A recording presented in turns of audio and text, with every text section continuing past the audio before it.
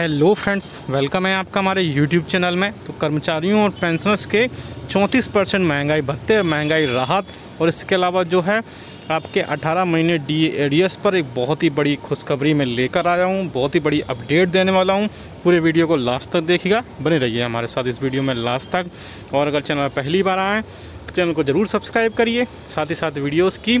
Latest notification के लिए आपको घंटे के निशान को ज़रूर दबाना है, तभी आपके पास हमारी वीडियोस की नोटिफिकेशन आ पाएगी और आप हमारी वीडियोस को कंटिन्यू वॉच आगे भी कर पाएँगे। इसलिए सब्सक्राइब करने के बाद बेल आइकन को ज़रूर प्रेस करिए।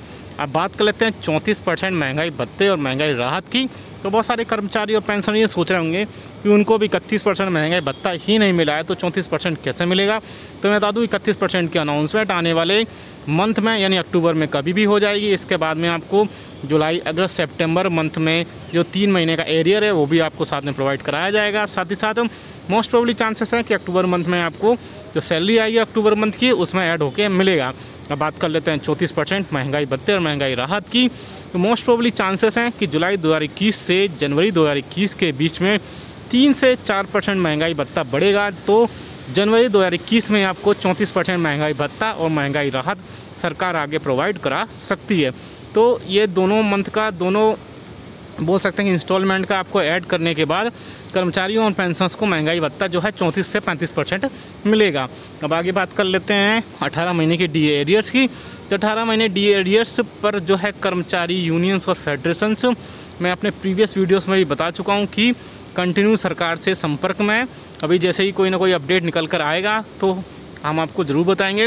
अभी अपडेट ये है कि सरकार से कर्मचारी यूनियंस और फेडरेशन ने रिक्वेस्ट की है कि उनकी जो डिमांड है, यानी उनकी जो रिक्वेस्ट की है कि सरकार से कि सरकार कर्मचारियों और पेंशनर्स को रुके हुए अठारह महीने के के जो एरियर्स है, वो जल्द से जल्द प्रोवाइड कराए और अगर प्रोवाइड नहीं करा सकती है, सरकार के पास अगर फंड नहीं है तो उनको इंस्टॉलमेंट्स में कराए, ताकि कर्मचारियों को कुछ ना कुछ राहत तो सरकार की तरफ़ से ज़रूर मिले। आगे इसमें और भी कोई ऑफिशियल अपडेट आएगी, वो भी हम आपको ज़रूर बताएँगे।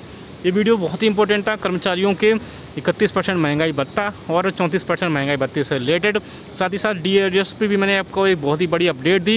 ये वीडियो बहुत ही अच्छा इंपॉर्टेंट था। वीडियो अच्छा लगा तो लाइक करेगा शेयर सभी के साथ करिएगा। आप हमें कमेंट करके ज़रूर बताएगा कि आपके हिसाब से इकतीस परसेंट और चौंतीस परसेंट में कितना डिफरेंस आगे आ सकता है। आप कमेंट करके ज़रूर बताएगा मिलते हैं आपको नेक्स्ट वीडियो में। Thank you so much